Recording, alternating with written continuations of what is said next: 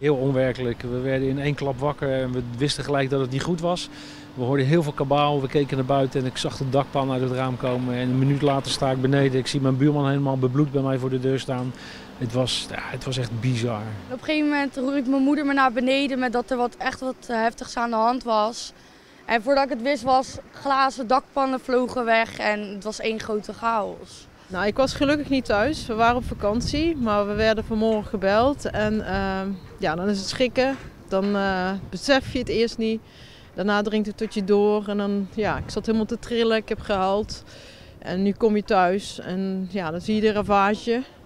Uh, ja, ik ben blij dat mijn kinderen uh, niet nu thuis zijn. Die hebben we gedropt. En uh, ja, dat ze dit even niet zien. En wij gaan alles zometeen opruimen. Ja. Het is een één grote chaos. De wind die heeft toch meer kracht dan je denkt. En er liggen hier allemaal dakpannen van het dak af. ruiten liggen eruit.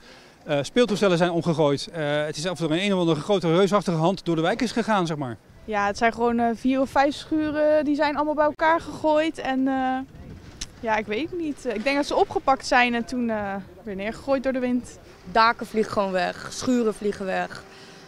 Auto's vlogen weg, bomen. Het is gewoon ja, bizar om te zien. Gewoon. Ik hoorde van de buurvrouw dat het uh, een minuut heeft geduurd. Alles bij elkaar, volgens de buurvrouw. Die zei, het, het is heel bizar, een minuut. Ik besef het niet, ja. Het staat gewoon te trillen nog steeds.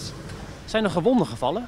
Ja, er zijn uh, voor zover ik weet vier gewonden, waarvan uh, eentje wat zwaarder gewond. Ik heb toevallig net de, de, de zwaarste gewonde die naar het ziekenhuis moest uh, gesproken. Die had een dakpan op zijn hoofd gekregen. Gelukkig weer aanspreekbaar en wel hoofdpijn en een hersenschudding. Maar in die zin gelukkig, naar omstandigheden, beperkt. Ja, want hoeveel erger had dit kunnen aflopen? Ja, heel erg. Want als ik het zijn verhaal ook hoor, er komt gewoon een dakpan door, door je ruit heen gevlogen. Ja, als je net op dat moment verkeerd staat, dan, uh, dan is de ellende niet te overzien natuurlijk.